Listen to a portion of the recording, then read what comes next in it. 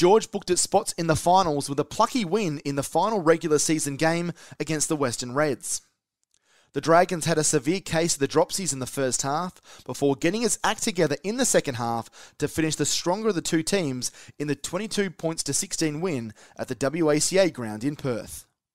At the WACA ground, while the Reds farewelled club captain Michael Potter in his 200th game, Mark Geyer was in charge of welcoming the Dragons. Geyer inflicted more damage on the Saints, Luke Felsch forced off, but with the Reds threatening, Ricky Walford took charge. Evans gives chase, Walford, Ricky Walford, Walford slows down. The Dragons unable to capitalise, Anthony Mundine turning from saint to sinner as another opportunity went begging. Back on the inside, Mundine's knocked it on. Chance after chance going astray, missed opportunities the Reds made St George pay dearly for. Peter Shiels, he'll score a willie. Over the ball, the Fuller and Fuller scores. The locals ahead 6-0 until right on half-time Nathan Brown pulled something special from his bag of tricks.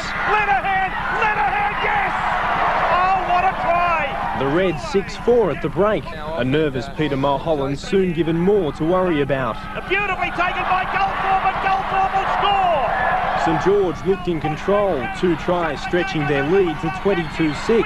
Win, Whittle scored, try to the Dragons. The Reds weren't finished, hitting back first through Julian O'Neill, then keeping the ball alive to move to within six points. It comes back now to Chris Ryan. Ryan going for the line, throws the pass back on the inside. Matty Fuller picks it up, and Matty Fuller scores his second try. But it was too late. St George securing a final spot, downing the Reds 22 to 16. The Dragons had gathered some momentum with their last round win and finished the regular season in seventh place.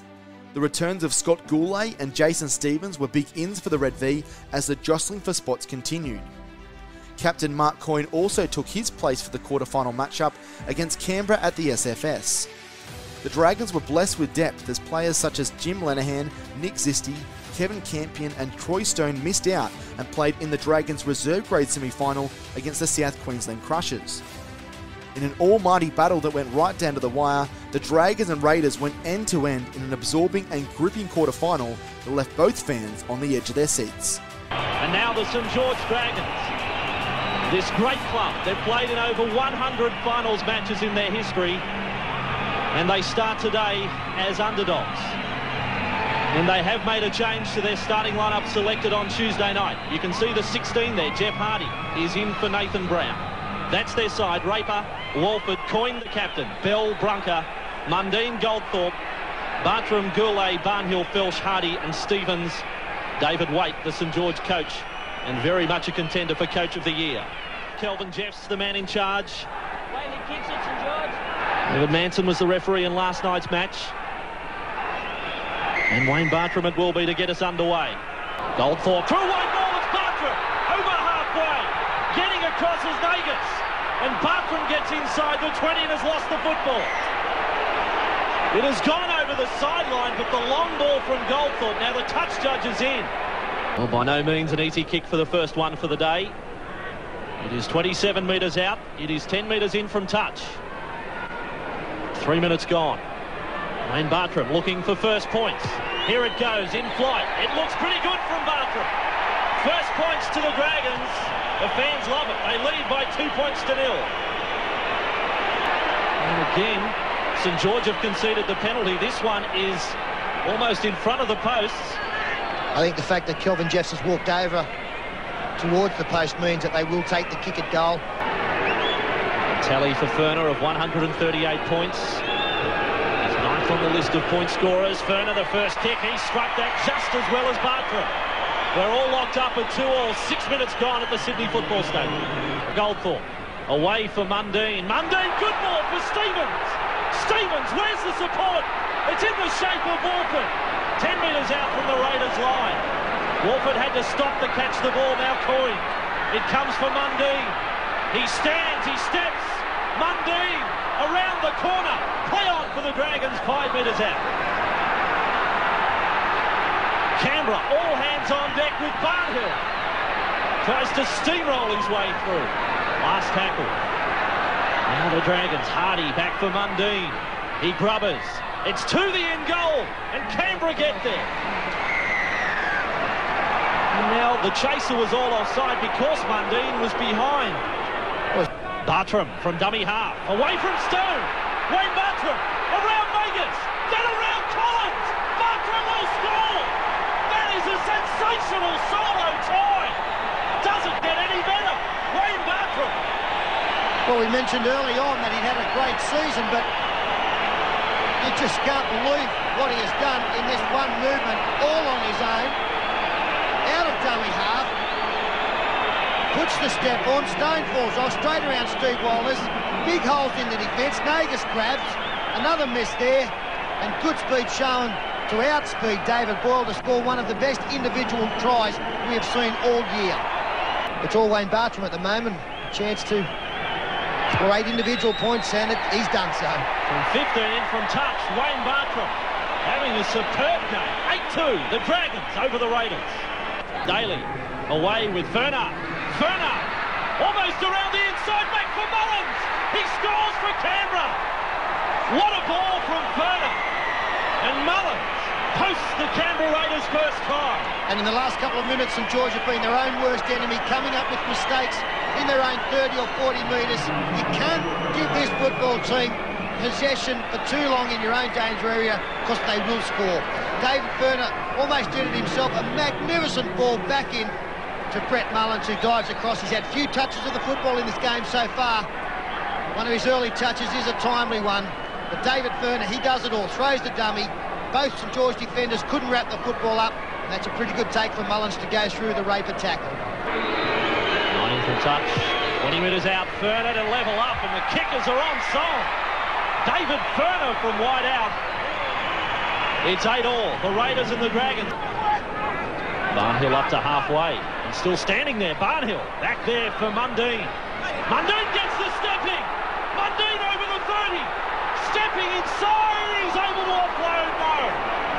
It at the end when he was trying to pass. Mullins, the Canberra hero. Well, the word is that Mark Coyne called a, a Canberra support player out of the action and has been penalised.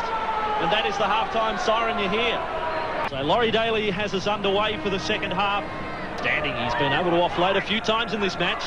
They're 25 metres out from the Dragons line. Stone pushes along. There's trouble here. It's more than trouble. Canberra over. Has scored for the Raiders. Now Jeffs consulted with in-goal judge and then awards the try. But they caught the Dragons short. That's exactly what they did, and it was a very good option taken by Canberra. They got the penalty, that gave them some more possession. As we freeze play there, you can see that the pass across to the receiver put Steve Collins in open space. No cover defence coming across until it was too late. Eight points is the tally for the day for Wayne Bartrim. And now 10 points, and that is the tally of St George. So it's a four-point ball game. We'll take a break. The Raiders 14, the Dragons 10. That is still a real chance. Brown is gone. It goes for Mundine from dummy half. Now for Coyne, then for Bell. And Bell has scored for the Dragons. The mousetrap play from dummy half. And Mark Bell has scored in the corner. Yeah, what about that? Is the mousetrap legal? I would have thought that the, the attacking side have, have got to have their, their players back. They've got two dummy halves on this occasion. I don't want to put cold water on the try because it's a well-worked move. He's got no right to be there. And used the referee very, very well. And Mundine, he attracted two defenders. Bruce Mamando, who's been caught out wide for quite a while for Canberra, trying to come up with the tackle. It is the mousetrap play, but again, is it legal? Mundine gliding across the field. He takes on Davico. Getting on the outside of Davico, and that forced Brett Mullins to come in. Beautiful work from Coyne. Catches and passes with the attention of Nadruku. And Mark Bell, a prolific try scorer for whatever club he's playing at, gets the try. Wayne Bartrim, he's hit the ball sweetly today. They won't get any tougher than this. On the wrong side also for a right foot kicker. 21 out. Bartrim is swinging in. Wayne Bartrim. He's landed it from the sideline. The Dragons, they lead by two. And Wayne Bartrim is having one of his best kicking days of the season. Oh. What a day to have it. Walters, here it is with Davico. Davico now to the 20. Canberra Look for Daley. He's to the left side of the ruck. Walters advances another 10. They're now eight metres out from the line. They've done little more than hit it up. St George, can they absorb the pressure? Inside they try. 20 seconds. Phelps came over the top with Dean Raper. They're all in the front line. Daley kicks. It's the last throw of the dice and Bell has batted a dead in goal. We'll never get a more important touch of the football in his career, Mark Bell. He scored the winning try for St George and he saved it at the other end. It's all over. The countdown has started. The siren will sound and Canberra are out. St George has survived the first week of the finals. The red and white army almost in disbelief. And Tim Sheens, we should reflect, his last match as coach for Canberra. St George have got up by two. Mark Bell supplied the match-winning try. The goal to Bartrim from the sideline. And they are through to live another day. No one could quite believe it. St George in the second week of the finals? How?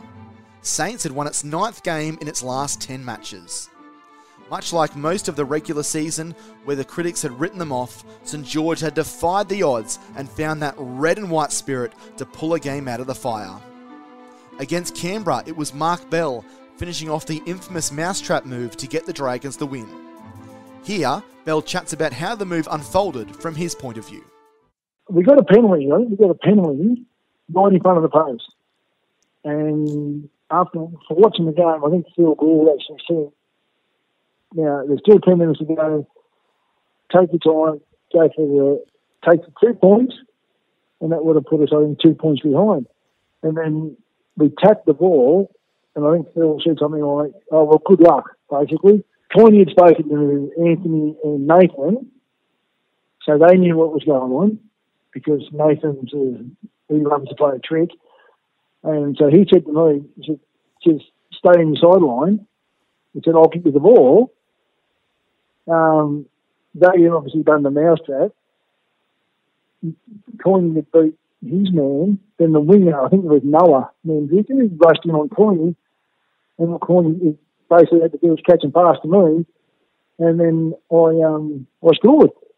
Oh, it was fantastic, you know, it was fantastic. Not because, you know, we, it had been over Canberra. It was fantastic because, you know, we'd given ourselves a shot to stay alive. And then um, Wayne had kicked the ball, kicked the goal from the sideline. Happy days. Yeah. yeah. And then, you know, it was toing and frogging, defending for about, I don't know, seven minutes or so. So basically it was four sets of six we had to defend pretty well much.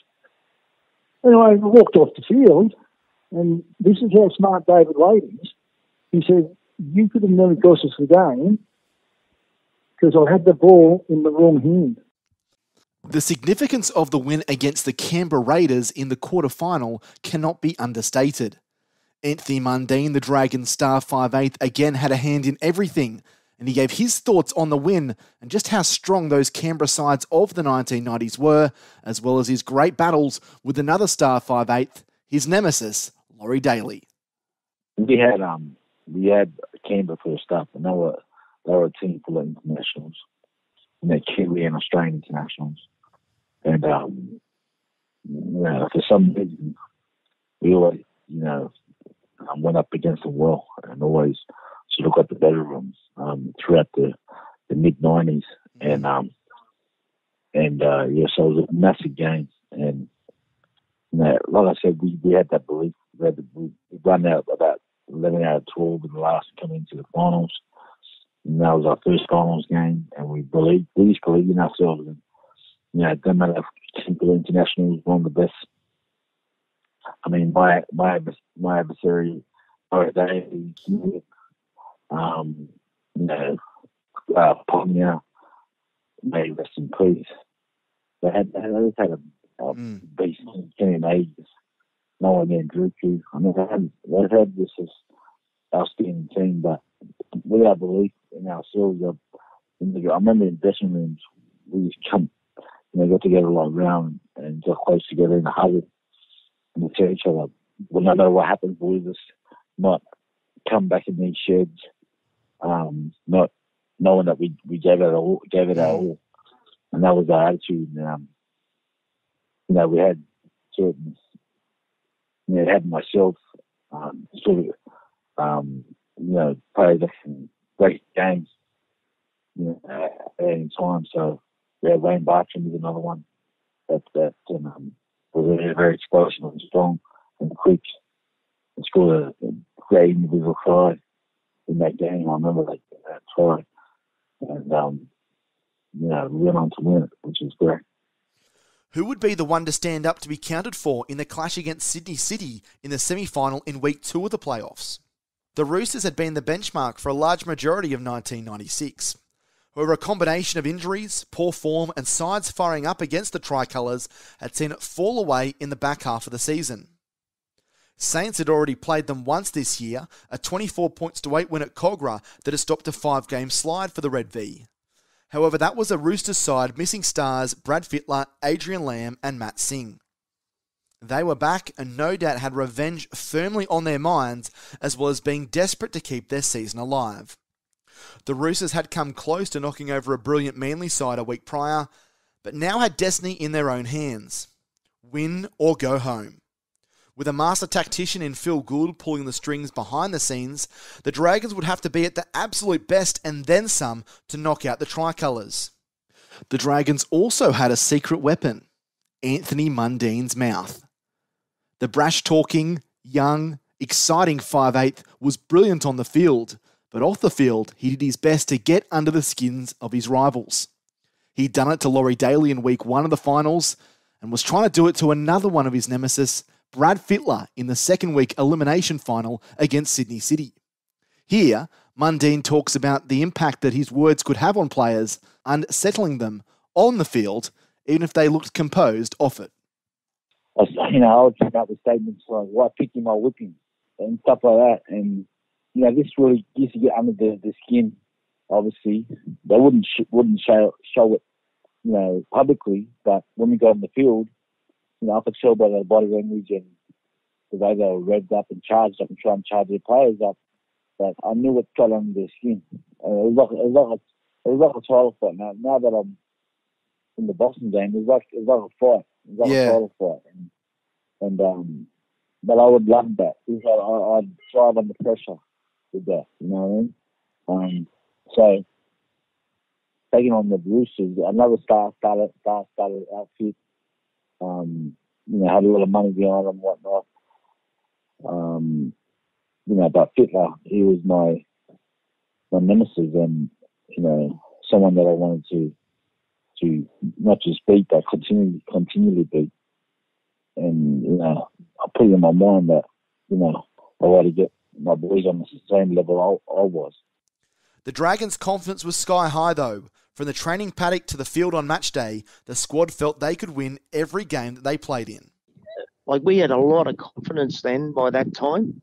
So it just seemed like we ran onto the field knowing that we were going to win. Like the mm. confidence was real high in the camp, and our training was all fun, and boys are laughing, joking, mucking around. But our, our sessions when we done our ball work and stuff were real sharp. So you know, as a player, when when you're real sharp at your last couple of sessions, then you're feeling good, and you think, yeah, we're going to play good. Mm. So you just know as a player, like how your team's travelling and the confidence is sky high. The talk's good. When everyone's talking, you know your team are you, they're confident, so you can feel comfortable with it all. Kicking was the name of the game at the SFS on a sun soaked Sunday afternoon. With close to 38,000 in attendance, could St George keep its dream season alive? St George, one of the celebrated clubs, got away to a shocking start. Players going every which way. They basically didn't have a coach. And here they are. Big action. Manson's the referee. Bartram starts. To the air. Not a bad kick.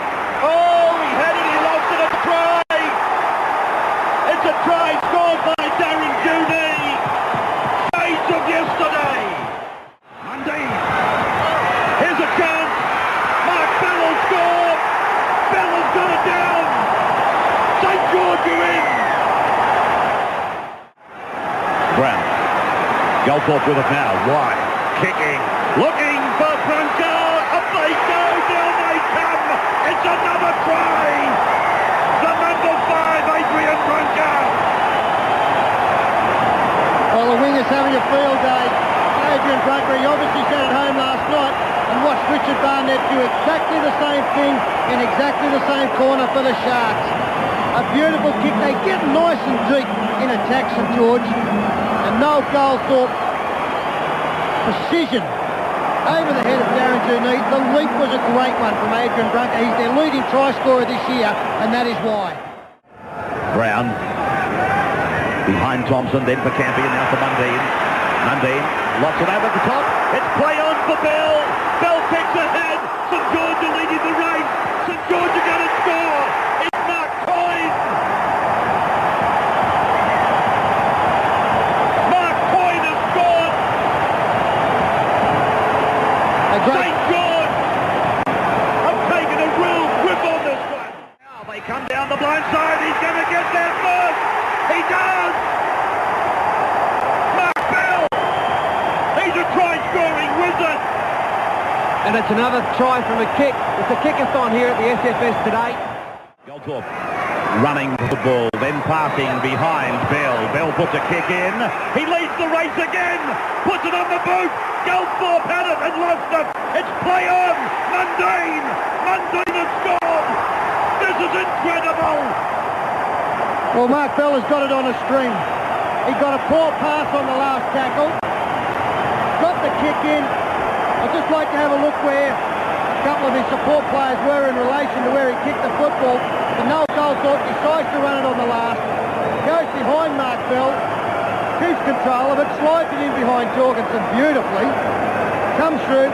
Now, have a look on the inside as to whether Noel Goldthorpe is offside or not. Goldthorpe definitely flips the football back, though he didn't mean to, and Mundine keeps his head. I just wonder where Noel Goldthorpe was in relation to Mark Bell when he kicked. Yeah, they're not hot, they're smoking.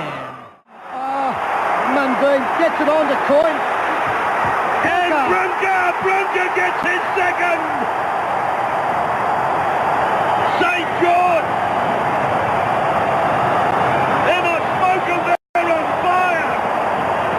32 to 4. It is a bushfire out of control here.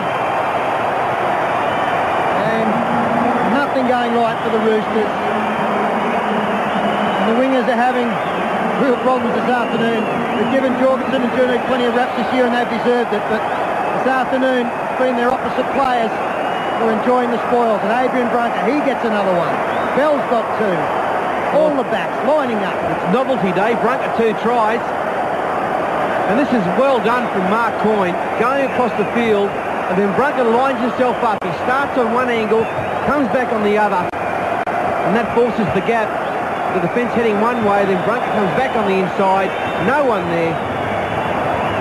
And he's a former State of Origin player. It was a while ago, but it's the try line. Chance here for Sydney City. Missing. And it's a try, all right. Probably had to be a penalty if he didn't score it anyway. Garlick. Dunn. Walker. Iro. Back into land. And the number seven has scored. There's a bit of life for the old Roosters yet. They've been copying it all day. That's a great try. Set up and deep in their own half. Adrian Lam finished it off nicely. Well, it's one of the best tries we've seen over the two weekends, isn't it? This was the the restart from the, the line dropout. It was very quick thinking from the Roosters with Adrian Lam racing forward and recapturing the ball. Peter Clark made the big bust, and then he got the dummy half to find Julian Troy onto Sean Garlick, committed two defenders. Ball eventually onto Walker, and this is a great ball from Tony Iro. He attracted a couple as well, and Adrian Lam, who started the play, finishes at 90 metres downfield. St George just ran out of troops here. They'd all covered. They just didn't have the numbers to control this movement from the Roosters. So from close range, the kick was successful. 36 points to 16. Saints had gone bang bang and knocked out two giants of the 1996 Optus Cup. Momentum, confidence, happiness, and pride were swelling around the St George region as well as in the Dragons' dressing room. The win against Sydney City and the manner in which it was done was turning heads. Saints weren't just the Anthony Mundine show anymore. No doubt he was a superb player, and St George needed him at his absolute best if they were to win the whole thing. But the win against the Roosters showed the versatility of the Red V. Noel Goldthorpe had sent towering bombs all afternoon at the Sydney City Wingers, and as a result, Adrian Brunker and Mark Bell had field days. Goldthorpe had quite the afternoon and even had a few words of advice for Roosters captain Brad Fittler, who'd had a running battle with all afternoon. Freddie, um, early in the game, he um, they uh, yeah they scored a try, and I remember him running past and patting me on the head, you know, which really I thought oh, I didn't like it, but um, you know, that was early in the game, so he had his tail up and he thought, you know, they were going well. And then uh, sort of we put them, put them to the sword in the second half and really blew them away. So, yeah, it was uh, very rewarding for me that he, he was patting me on the head at the start. And I, I think I asked him at the end of the game, he, I said, You haven't got much to say now. The Fords were laying the platform again, as well as creating second phase play via their offloads. Wayne Bartrim led the way and was followed by the young Lance Thompson and the durable Luke Felsch prop. Then you had the dynamic Dean Raper at the back, who was a constant threat returning the football. Saints were anything but one dimensional. It seemed that sections of the media were still waiting for Saints to eventually fall over, though. The forthcoming match against a red hot North Sydney side was surely when it would happen, wouldn't it? Given no chance against Canberra, the Dragons are showing the resolve and spirit that has seen the club win 11 premierships in a row in the 1950s and 60s. Little thought was handed to St George the next week against the star-studded Sydney City, but once again, much like the most of the 1996 season, St George had proved their doubters wrong. It was time for them to do it again. Norths had the wood on St George and were warm favourites heading into the preliminary final at the SFS on a warm Sunday afternoon. They had won four of the last five meetings against the Dragons, dating back to 1993, including the only meeting between the pair in 1996. The Bears had trampled Saints 42 0 at North Sydney Oval back in round 7. It was arguably the lowest ever the year for the Dragons, and despite losing three more games after this, that loss was the nucleus for change. The Bears were stacked all over the park, and it was evident that St George would have to shut down so many of their difference makers to even have a shot at staying in the ball game. The Shoremen had pace all over the back line. Matt Seers was at fullback, the best finisher in the game, Brett Dallas on one wing, and the sharpshooting Jason Taylor at halfback. There wasn't much reprieve when you moved into the forwards. New South Wales representatives Greg Florimo at lock, David Fairleigh in the second row, and the hard-nosed Queenslander Billy Moore playing on the edge of the ruck. Despite this, there was an air of invincibility about St George. The fans could feel it, and you're damn sure the players could feel it. With Coach of the Year candidate David Waite conjuring up everything in his power to keep Saints alive in 1996, this game promised to be a cracker. St George go out behind Mark Coyne and the St George Army, the red and white army. They are in evidence. Magnificent winners last weekend. Not many gave them a chance. But not only did they win, they won decisively. Raper, Zisti, Coyne, Bell, Brunker, Mundine, Goldthorpe, Bartrim, Gourley, Campion, runs on, Felsch, Hardy, Stone. David Waiters, the coach, 100 games of first grade coaching today. Seers on, Buettner away. Nigel Roy is with it on the 20 metre line, away from Brunker. Able to get a pass away, though he had two players on him. Buettner then for Fairleigh. Fairleigh back around for Buettner. Then for Taylor. Surely. Oh! Intercepted by Mark Bell! Scored two last weekend! Is he going to have the pace? He's inside the 20. Now he's pulled down. Coyne gets under a high tackle from Larson. Able to get it away. Hardy turns it back. Now it's with Mundine. Goldthorpe. Goldthorpe pulled down inches from the line. Thought about the double movement. Now Mundine. Floats it out. They'll score. Raper. Raper is in. Hold it. He hasn't pointed to the mark. Now he has. Dean Raper has scored for St George likes to get out and run. This is their last. And a shot for drop goal from Goldthorpe. Did it get a touch? No, it didn't get a touch, and the arm goes up. One point for St George. Seven points to nil after 23 minutes. Not given the North Sydney half any piece at all. Brown puts him down after Taylor gets a kick in, but it goes. Oh! Nigel Roy peels out of a tackle. Centre kicks. Saints don't clean it up. The Bears are in. Seers, Matt Seers scores. Five minutes from the break. It's gone, and Taylor raises the flags. He becomes the second highest point scorer for the Bears. And we go to the break. St George by one. Raper got the try. It was converted by Bartrim. Goldthorpe added a field goal. Then North Sydney with Matt Seers scoring the try. Taylor with a penalty. And 7-6 at the break. Now Mundine. Mundine. Are they going to get him? No, I don't think so. Mundine's over. St. George. Now they lead by five. And that's what this kid can do. Anthony Mundine. Put him in space and he's just got that many gears. Plenty of jubilation because they know how important this one could be. It's really come from nothing. North Sydney hadn't formed that well after being broken the previous play and then up the middle, Mundine. David Hall is no slouch, but he was never going to get Anthony Mundine. Neither was Nigel Roy. Bartrim with a relatively simple kick. There's the extras. 13 to 6. Goldthorpe, they're all onside. There's no drama. And they've been out jumped and Bell gets it away and Bartrim scores. Will they extend? I'll tell them and they will. Ah, beautiful work again from St George. Game slipping away from North Sydney now. And Wayne Bartrim, another nail in the coffin here. Yeah. So another converted try, 19 to 6. Mundine shut it. Soden! Soden's over! Mark Soden has put it over the line. Right under the black dot.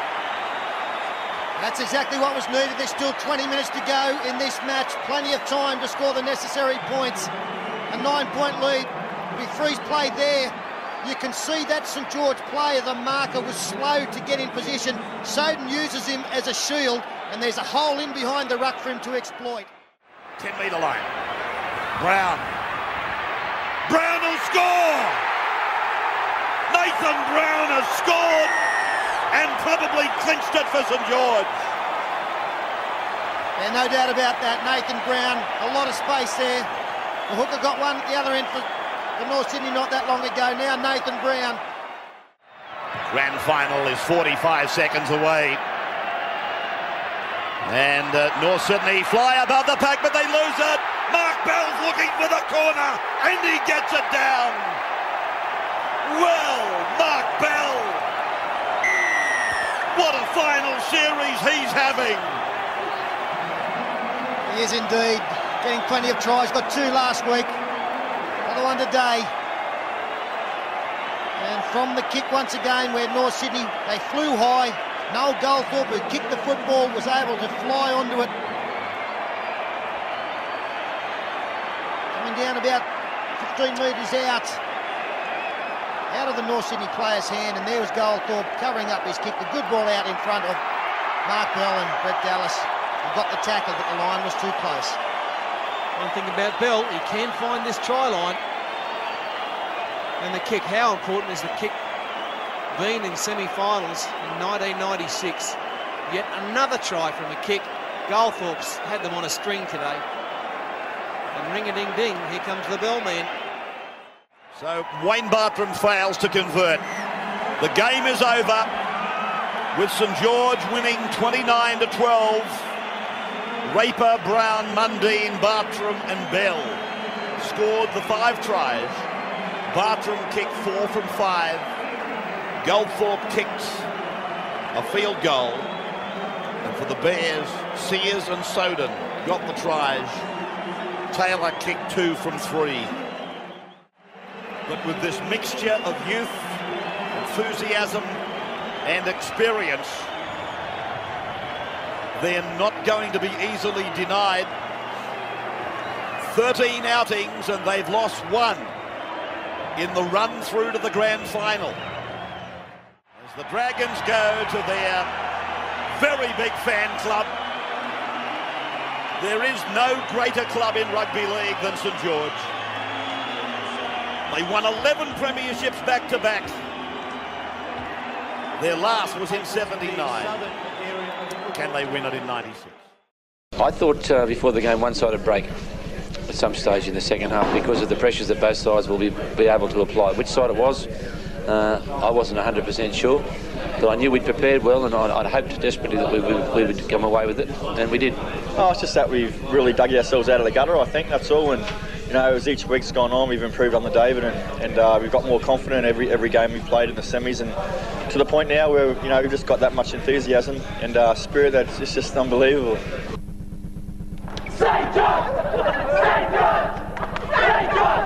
St George fans can feel it. Their side is on a roll.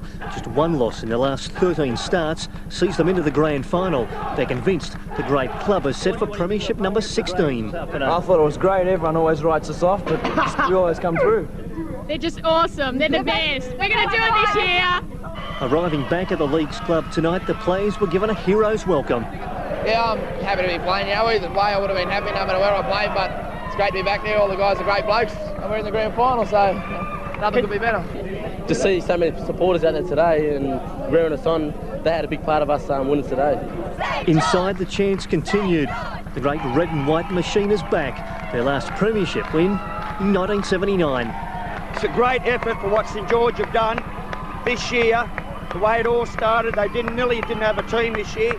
And look at it now. Unbelievable, mate. We'll win the grand final. We had a coach at the beginning, and now they've done really fantastic. I'm really proud of them. Several players are leaving the club at the end of the season, and that's plenty of motivation. Yeah, that's probably one of the main reasons because um, all the boys are, you know, a few of the boys are leaving, and you know, we really want to do it together.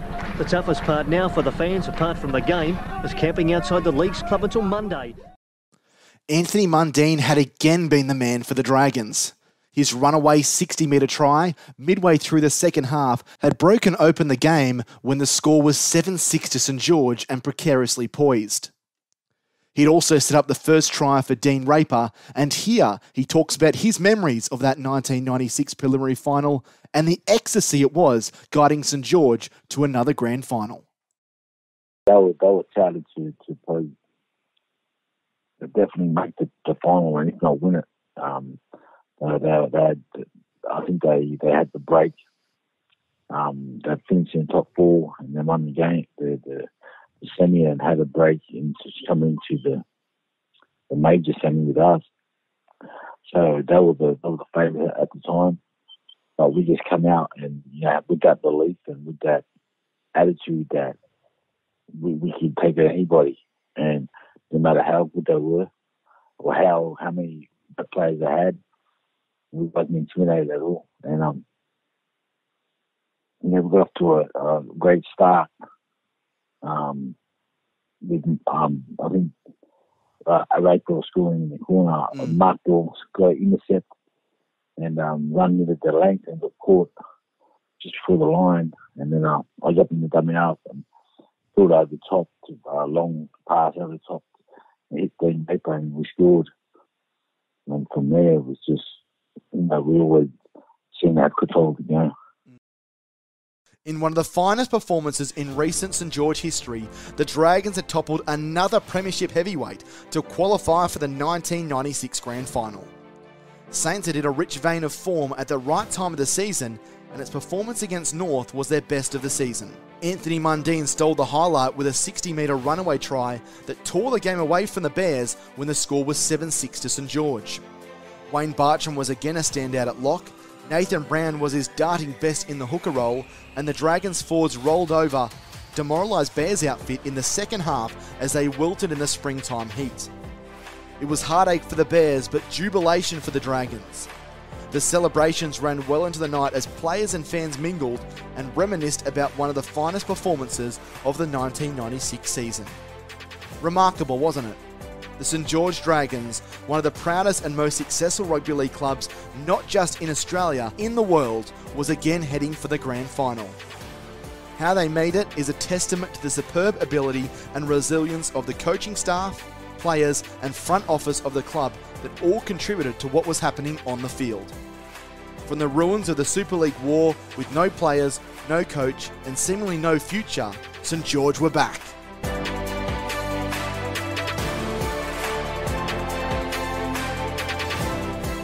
As the celebrations faded away and grand final week began, the Dragons had to knuckle down and focus on the job at hand the ominous task of beating the best side in the competition, the Manly Warringah Sea Eagles.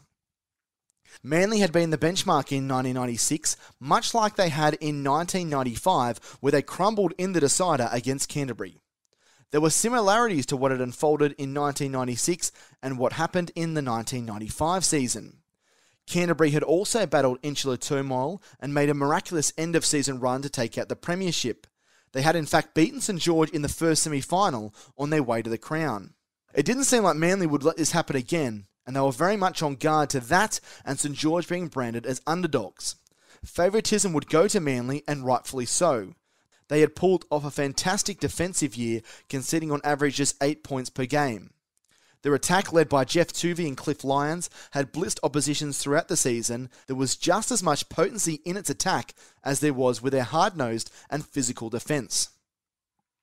The sides had already met once during the season, with Manly triumphing 6 2 on a wet and cold night at Kogarah. Unfortunately, when it came to the grand final day, it just didn't come together for the Dragons. There had been rain in the lead up to the game, and the greasy track didn't suit the Dragons' style of play, as centre Mark Bell explains. When you have players like Anthony Mundarine who are quick on their feet, you know, Dean Raper was very, very agile. Wayne Bartrim was very good on his feet. He needed it to be, we needed it to be a dry track. We didn't want, and again, and that's what cost us a little bit in, in 95 in the semi-final against Canterbury. We didn't want it to be a wet track. We wanted it to be hot, and we wanted it to be, you know, um, a real good, firm, dry track so we could run.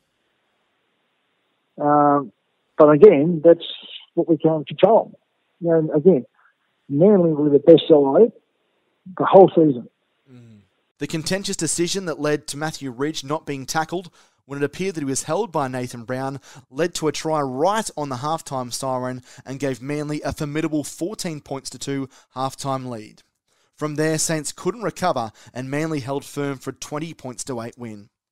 Although disappointed at falling at the final hurdle, there was an air of accomplishment and achievement from the playing group having taken the side so far during the 1996 season against all the odds, Saints had gained an awful amount of respect from all corners of the rugby league community. The fact that fans still talk about this legendary season today shows the lasting impact it has had on fans. Mark Bell summed it up best when chatting about the 1996 season as a whole. And no one ever gave us an opportunity. No one ever gave us a chance. No one. Uh, the best football judges didn't give us a chance. It was an achievement that no one would ever thought that we were going to do. Yeah, and yeah, and I still think that we saved St George that day. That completes part three of the St George Dragons 1996 documentary. What a phenomenal season it was! A side that had 10 players at pre-season training and was at some stages on the verge of collapse, making it all the way to the decider against the more fancied Manly Warringah Sea We here at the Red V podcast want to thank all of the players involved with the documentary for their tireless work in our interviews, recapping what was a phenomenal season. A huge thanks to Jeff Hardy, Noel Goldthorpe, Mark Bell, Scott Gourley, Kevin Campion, Mark Coyne, and David Waite. We would like to thank Jubilee Avenue for their phenomenal website detailing many years of St George Dragons and Illawarra Steelers history, particularly helping us with the 1996 season, as well as the RL Stats website detailing every match, points, tries, and goals scored from 1908 until the current day that was phenomenally helpful in the pursuit of the St George Dragons 1996 season. We hope you've enjoyed this 1996 St George Dragons documentary, and there'll be plenty more documentaries here on the Red V podcast. If you have any suggestions or any feedback about the episodes that you listened to, please do get in contact with us via email, redvpodcast at gmail.com.